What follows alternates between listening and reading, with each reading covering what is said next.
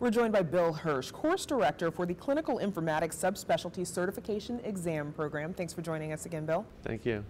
Um, now, you've made a major announcement at AMIA 2012. It's the start of a Clinical Informatics Subspecialty Certification Exam Program. Why is this a big deal? Well, it's important because it's the next step to developing the clinical informatics subspecialty for physicians, which is important because of the professional recognition that it brings to physicians who work in informatics. So this announcement announces the review course that those who are qualified to take the exam can take to review to help them pass the exam. What are the plans now for developing the program? The plans are to offer this course several times over the next year prior to the first offering of the exam.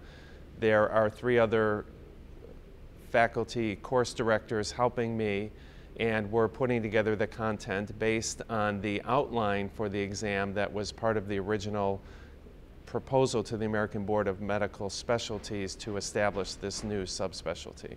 Why is this program important for physicians to have? The clinical informatics subspecialty is important for physicians because it gives them the professional recognition in medicine that they are deserving of because they're playing this important role at the intersection between information systems and healthcare, using those systems to improve healthcare.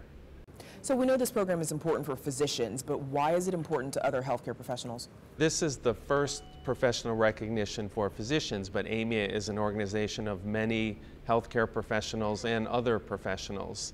This initial certification will then open the door, and in fact, AMIA has established an interprofessional task force to look at certification for other healthcare professionals and others who work in informatics, leading to their certification and professional recognition as well.